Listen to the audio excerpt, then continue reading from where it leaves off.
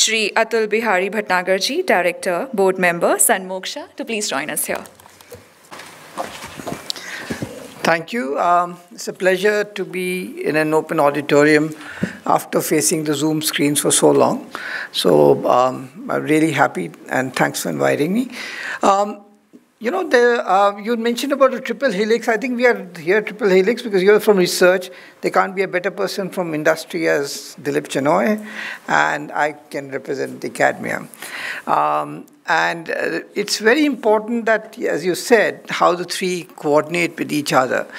Um, now, STEM, I would rather use that word E instead of engineering. I would rather make it entrepreneurship because engineering has to lead to something. Engineers are supposed to be job creators, not job takers themselves.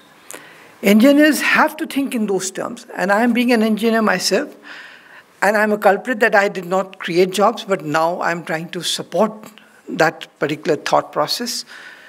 And for to be able to create jobs, you have to be a problem solver. And along with that STEM, there's a word A should come in, which is actually STEAM. And STEAM means the A is for arts.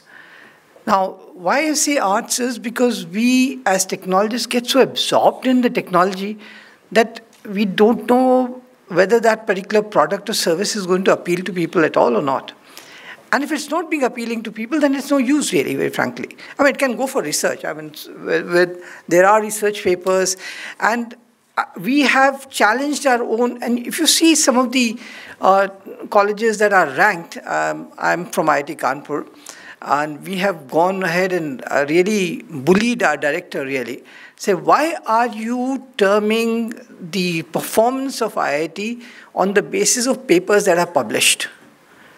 And you see for that, UGC or in, uh, whether IIT or even MIT or any place abroad, if the Indian institutions are being ranked low because their research papers are not cited as many places, how many of those research papers are gathering dust?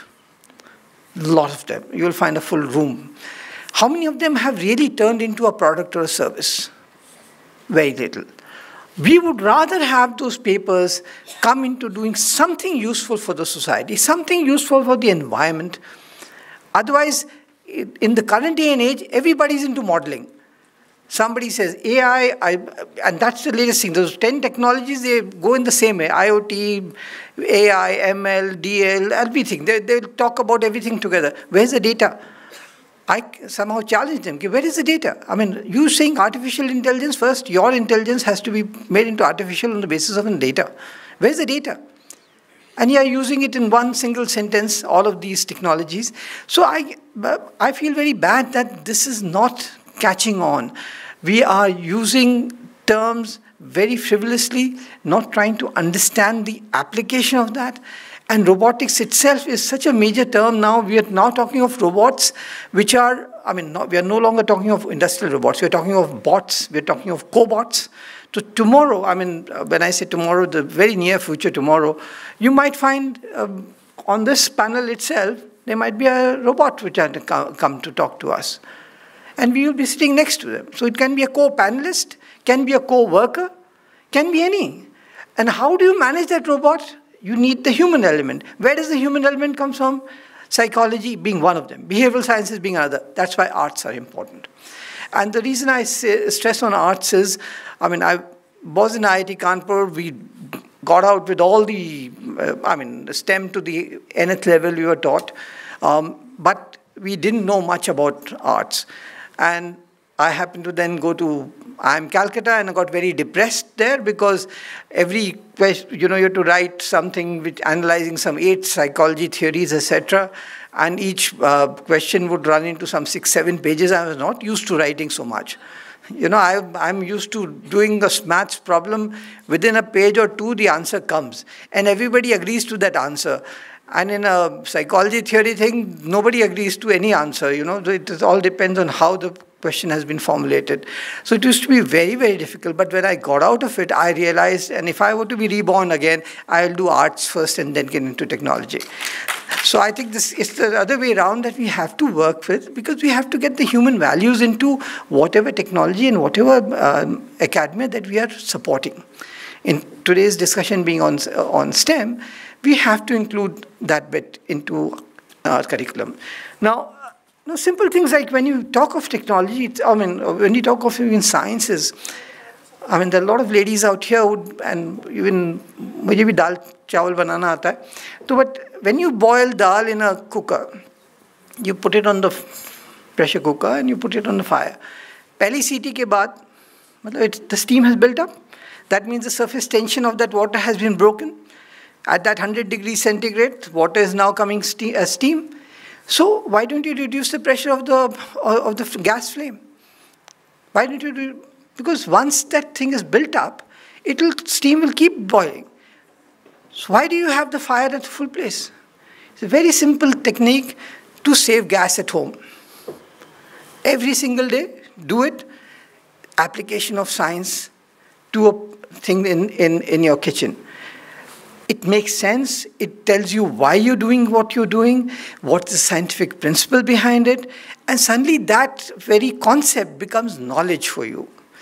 Same things when you leave your, let's say, your mobile charger and you've got a three plug thing and it's got the small red light there, you keep it on. How much of electricity are you using? Maybe very minuscule, but can you calculate that? That's very important. Just to understand what, what is happening there. So these are very, very small problems. If, the, if the, even the teacher in class says, can you calculate and tell me how much electricity have you used or misused or wasted and, and at home, the, the child becomes aware of the environment. He, he understands what electricity is all about. He understands what wastage is all about.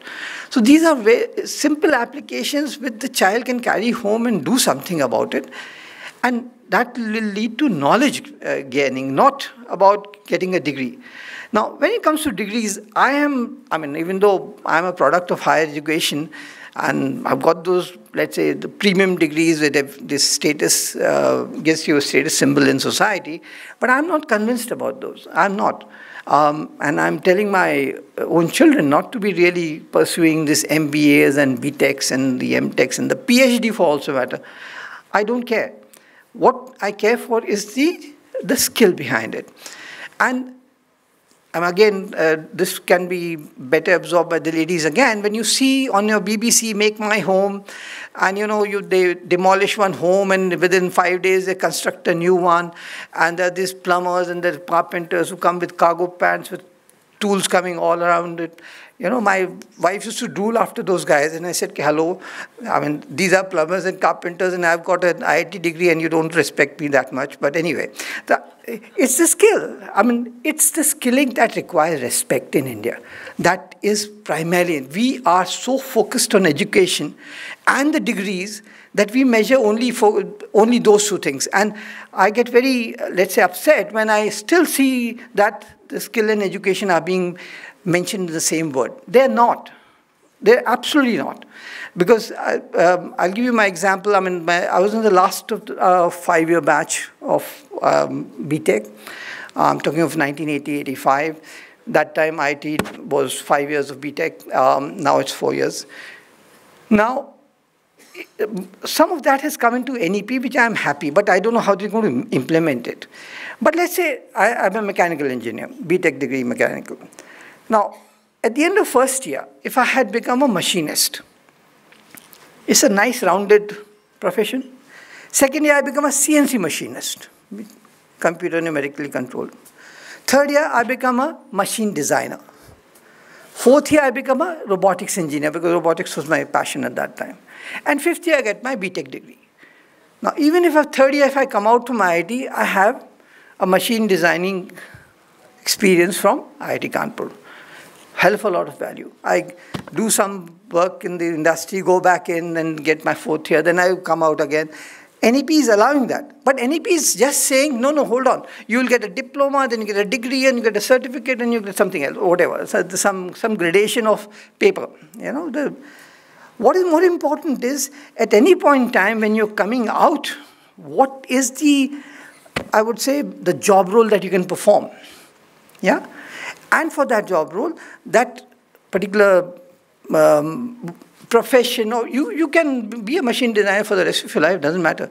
But the fact of the matter is, the day you get, get out and join a particular organization, you can add value to your employer. So the summation of skills is education, not education in total.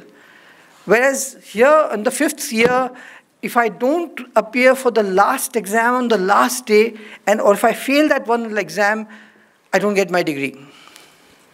So either you are at class 12 or you are at uh, the last day, last exam that you have to pass.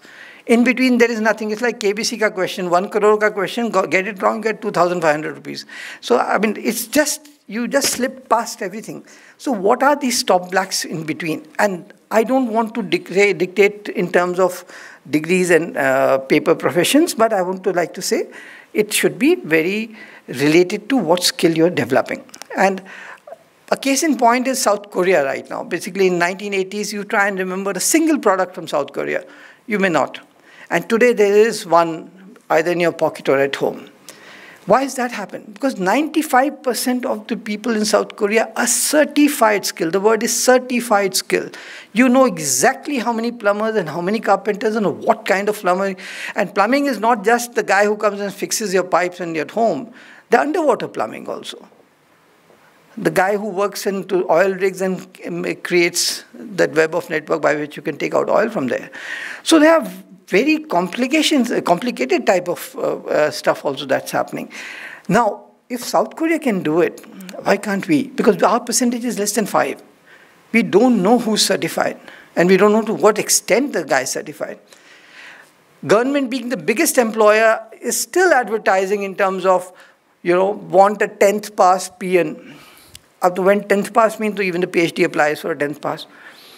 But the peon's skills are quite, in fact, very frankly, I'm also quite jealous because he, he or she is supposed to regulate the traffic to whoever she would be assigned to, means people coming in, knows how to archive, knows how to retrieve. I'm very bad at that. And number of other things that is told to a peon. Now, how can a PhD guy satisfy that? How can an MBA do that? Unless the person is trained and skilled in that particular profession, you cannot complete that role. So going back to what the skills uh, movement, and I, I mean, I, I'm there speaking in front of Dilip, he's a skill man of India, so I would rather not do that. But I'm saying in terms of STEM, we have to put in the skill element. And we have to put in the arts element into it. Only then can STEM be really achieving what it was supposed to. And I do hope it achieves. I'm, uh, I have no reason why it should not. So that when you create a robot, and you create a robot, you should be able to program it like, like say, the robot is supposed to work for your nana and nani. Correct? Now, so when it talks to the Nana, it talks about current affairs, talks about cricket and sports and the favorite news channels and all. And when he talks to Nani, he talks about shopping and the, whether uh, Langda is cheaper on Blinkit or in Flipkart or in Amazon so that she can order that properly. And are two old people who can be handled, their moods are different. Who's going to program that? So you got a very fancy robot. You can say AI is there and it can do multi-language translation, etc. It doesn't appeal to the people. You have to make it like as if it's their baby. Only then that robot, home robot, will really be appreciated. So we have to make that happen. And to make that happen, you have to understand human behavior, and human behavior can be best understood when you put it in a holistic form with the technology. Thank you very much.